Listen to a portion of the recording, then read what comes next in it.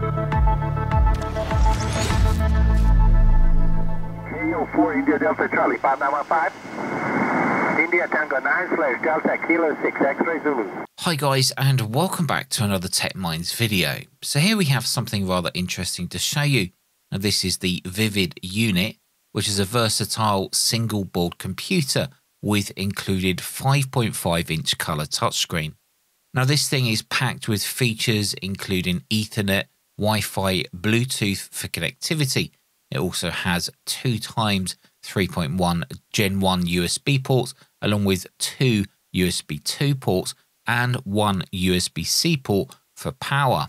Now, talking of power, the Vivid unit can also be powered over Ethernet using a suitable PoE network switch.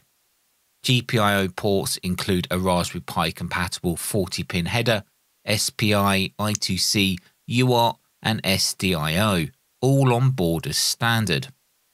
Also on board as standard is a microphone, a built in speaker, and a 3.5mm headphone socket, and an HDMI output, which is located on the top. Now you can also add NVMe M.2 devices for extra storage, and that's alongside the onboard 32GB of eMMC storage. A Mali T860 MP4 GPU is also on board, and this provides performance enhancement for your applications. The SDR application that I'll show you actually uses this to make sure that it runs nice and smoothly. Now it does come with Debian 11 Bullseye pre-installed and it boots up really quickly. Of course, as it runs Debian, there'll be thousands of applications already compatible with the Vivid unit. Now, the reason why I'm showing you this is because the designers of the Vivid unit, UUGear, have now released an add-on board, which is essentially an RTL SDR. Now, this is called the VU GPSDR. Now, not only does it have an RTL SDR on board, it also has an up converter built in, meaning you can receive HF right up to 1.7 GHz. UUGear have also compiled a special version of SDR for this specific device, which we'll take a closer look at shortly. Now also on board the VU GPSDR, you'll see a GPS receiver and GPS antenna. Now this works in conjunction with GPSDR++, their version of SDR++. And the local oscillator, an SI5351, is actually driven by a 24 MHz PPS from the GPS. The single antenna connection is in the form of an SMA socket, and next to that, there's another SMA socket, which is a software adjustable clock output.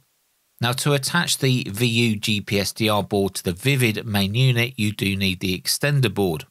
There's also four cables which are supplied that need to be attached to the extender board and then connected to the Vivid unit board. Then the extender board simply pushes down over that 40 pin header and some data and USB headers.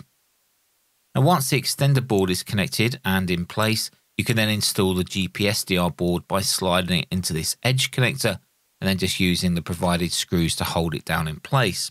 Now once all the hardware is all together, you will need to install the software. And on the website, there's a guide which goes through just a few commands which need to be entered into a terminal window. Now, these will install the relevant GPU drivers and the GPS DRPP application, which is specifically compiled for this hardware. Now, you can either SSH program like PuTTY or just connect a mouse and keyboard and do it all on screen. Now, once the software is installed, you can then start that GPS DRPP application, and it looks like this.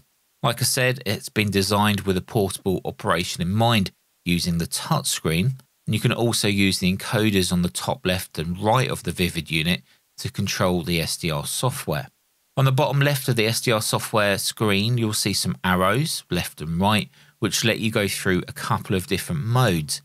Now, there is a GPS screen, which will show you how well the connected GPS antenna is working.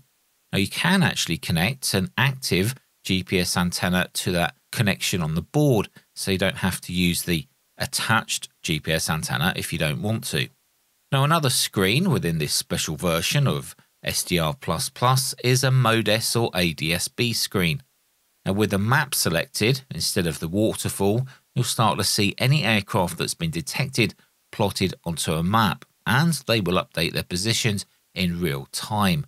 So think of it as a portable aircraft tracker. As it has GPS, it will actually center the map over your location.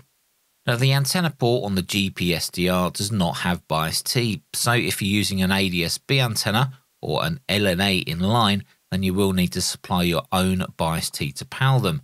Now, that goes for anything that you add onto it, like LNAs or filters that require power. Another screen you can select is the clock output control. Now, here you can choose a drive level and a frequency from a preset list of frequencies. Now, while this version of SDRPP has been designed for the VU unit, you can still access all of the controls we've seen on the original version of SDR++. However, you can hide these away and just use the main radio control screen that you saw a moment ago. Now, the internal speaker on the VU unit is a little small, and as a result of this, the audio does sound a little tinny, not much mid range or bass. Also, as the GPSDR is primarily designed to be used portable, let's perform some tests using the telescopic antenna on my window ledge just to see how well it receives.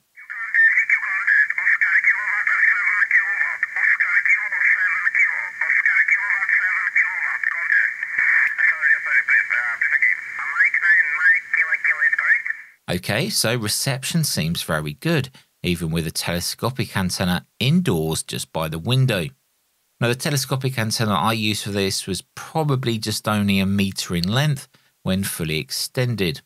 Now, as you heard, the internal speaker does sound a little thin, but you do have a couple of options here to improve that sound quality. You can either use the onboard 3.5mm headphone socket, or you can use Bluetooth. So take a listen to this with the VU unit connected to my Bluetooth speaker. QRZ, Yankee United 5 America. Z, uh, too much splintering on the frequency. QRZ, Yankee Uniform 5 America. KO4 India Delta Charlie, 595. QRZ Delta Fox Zero Hotel Quebec.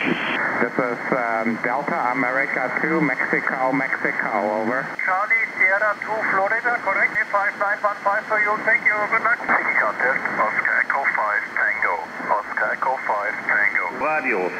Zulu Alpha, Strich OE8 NDR. Und da rief noch einer aus England. Island, England, please come in.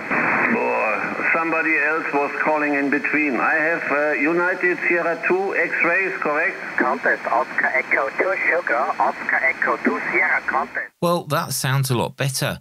You may have heard the onboard fan kick in too, which can be a little loud as there's no case on the rear of the VU unit, but the clarity from the demodulation is perfect. No issues at all when using Bluetooth or an external speaker. Now, if you're wondering, the built in up converter for HF reception automatically kicks in when tuning to lower than 30 MHz when using the GPS DRPP software application. One thing to mention about this current version of the GPSDR is that it's very, very sensitive, which makes it work well with the telescopic antenna with portable use in mind. However, if you do connect it up to an efficient HF antenna, like an end-fed half-wave antenna, then for me, I actually had to add some attenuators in line to stop any of the front end overloading. Now I use between 10 and 20 dB here, however with future releases there may be a redesign to account for use with larger, more efficient antennas. Mike Tango, Mike 595. CQ, Radio Uniform 1 Alpha, Radio United 1 Alpha. Check your contest, Foxtrot 6 Kilo, Oscar Papa. Contest, Papa 33 Whiskey, Papa 33 Whiskey. As the VU unit is Linux based, this means we can run all the Linux RTL SDR software packages that are available to desktop users. One of these applications is called RTL433, which connects directly to the onboard RTL SDR GPSDR board and then shows the usual data. Now, I do have some videos on the channel about RTL433 if you need some more information about it, but essentially it's an application that will decode and display data received from devices like weather stations, remote buttons, tire pressure sensors, and so forth. Now, at the time of making this video, there was no case or battery options supplied by the website, but they do have plans and are actively working on this so we may see something come in the near future. Now, they are dedicated to making this one of the best single board computers with SDR support, and they are based in the Netherlands if you're wondering. Well, there we go, guys. That's the Vivid unit with the VU GPSDR available from UUGear. Now, if you order from the website directly, it is available from quite a few various places around the world. But if you order directly from their website and use discount code TechMinds, all in one word, you'll get five euros off each GPSDR that you order. So it's definitely worth ordering directly from their website as they do ship worldwide. Anyway, let us know what you think about this down in the comments below. I think it's a great start from this company of dipping their toes into the SDR world. And, well, things can only get better. Until next video, take care of yourselves, and we'll see you in the next video.